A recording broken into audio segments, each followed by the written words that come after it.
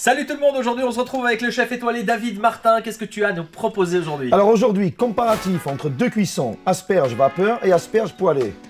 Ah bah allons-y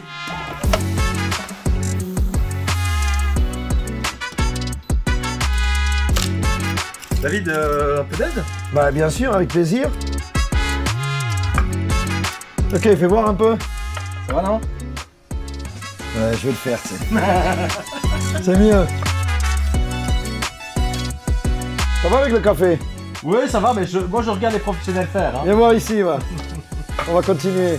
Bon alors David, dis-moi un peu les caractéristiques, quelle est la différence entre les asperges poêlées qu'on va faire et celles qui sont faites à la vapeur?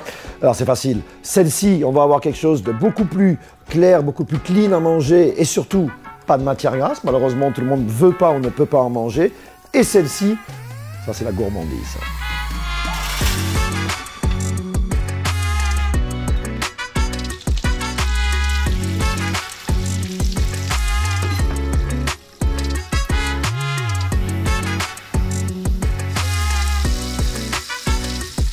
Regarde, on va tester la cuisson.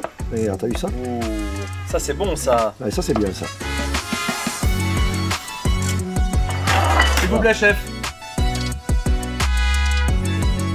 Allez, à la bonne franquette. Allez. Hop.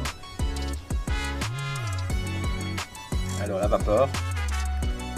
C'est impressionnant. T'as vu, t'as croqué dedans, regarde. Ah ouais. Il n'y a pas une fibre. hein. En fait, la grosse différence c'est que celle-là est très très très très fondante, même un Ouais. peu à l'abus. Ouais. Et celle-là, Elle elle, est juste- garde du croquant Voilà. juste ce qu'il faut. Ouais, ça va, t'as raison.